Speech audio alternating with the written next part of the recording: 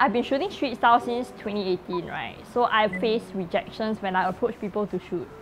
But then I do have very interesting stories from like many different people that I meet along the way.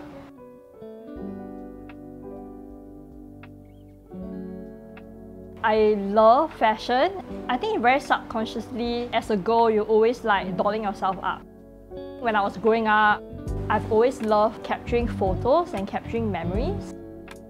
Back then, there wasn't any social media and I was super into Polaroids, so I think my interest in photography started from there. I just love people in general. I love learning about their stories and the conversations that they have. When I approach someone to shoot, I'll be like, hey, I really love your clothes.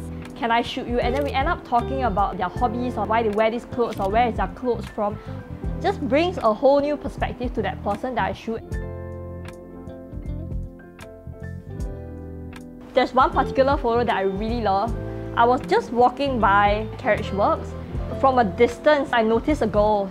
So I shot her and she was telling me like, hey, I actually made the bag. So everything is upcycled because she's very into sustainability and we became very, very close friends and I met her again.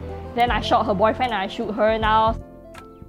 As a fashion photographer, I love to be stylish and on trend. So if I'm only shooting just the street, I'll always bring 70 to 200 and that's it. And then I'll just walk down the street. I'll try to bring a bag just big enough to like fit that camera in to shoot.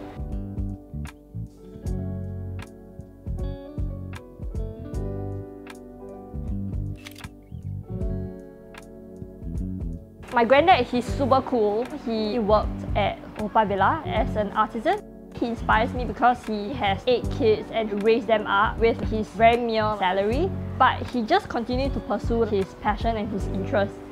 He has an influence in me to eventually pursue street style photography as my full-time career job. Ultimately, that's my end goal, to get a book out there on the street fashion of the cities that I visit